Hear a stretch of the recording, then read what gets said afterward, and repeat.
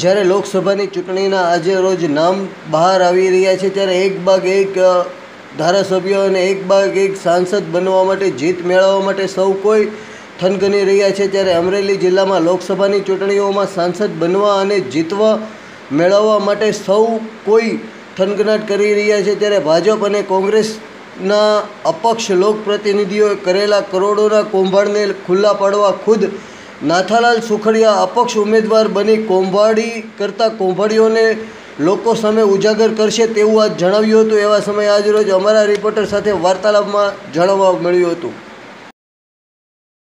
હું નિર્દલીય એટલે કે અપક્ષ ઉમેદવાર તરીકે લડવાનો છું, કારણ કે આપ પાર્ટી લડાવતી નથી કોઈ ઉમેદવારને. ત્યારે ભાજપ અને કોંગ્રેસ સત્તા પક્ષ અને વિપક્ષ બંને પ્રજાના કામો કરવામાં નિષ્ફળ ગઈ છે. વાત આપણે શરૂ કરીએ અમરેલી શહેરની. તો અમરેલી શહેરની અંદર છેલ્લા બે વર્ષમાં ચોત્રીસ કરોડના રોડ રસ્તાઓ બન્યા, પણ નગરપાલિકાની અંદર કોંગ્રેસનું શાસન હતું.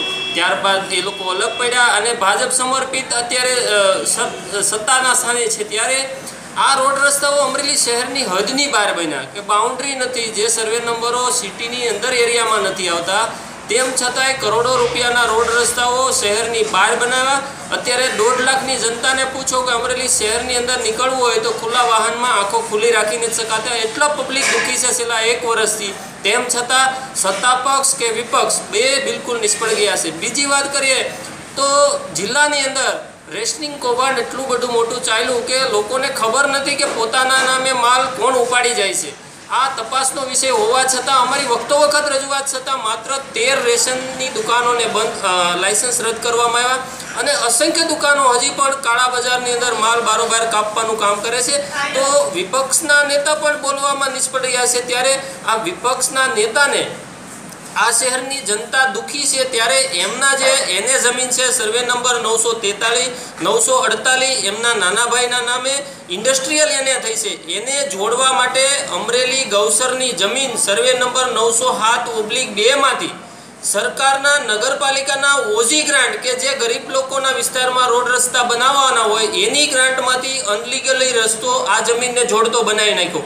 વાત રહી બીજી કે સાંસદ તરીકે નારણભાઈ કાછડિયા છેલ્લા બે ટર્મથી સાંસદ તરીકે છે કે એમને હું ઓળખું છું કે અમરેલીની અંદર એમનું મકાન નહોતું, બહાર પણ એની મિલકતો નહોતી અને માત્ર એક નાનું એવું ફ્રન્ટી લઈ અને સરખડિયાથી અહીંયા આવતા હતા આજથી દસ વર્ષ પહેલાં. ત્યારે અત્યારે કરોડોના ખર્ચે આ શહેરની અંદર બિલ્ડિંગ છે બંગલો છે. અમદાવાદ સુરતની અંદર પણ એમને બિલ્ડિંગ છે અને તેઓ માત્ર ને માત્ર છેલ્લા આ એક ટર્મમાં સાડા ચાર કરોડ રૂપિયા બાકડાની પાછળ ગ્રાન્ટ આપવામાં આવીને બાકડામાં આ લોકો કરપ્શન કરી રહ્યા હતા.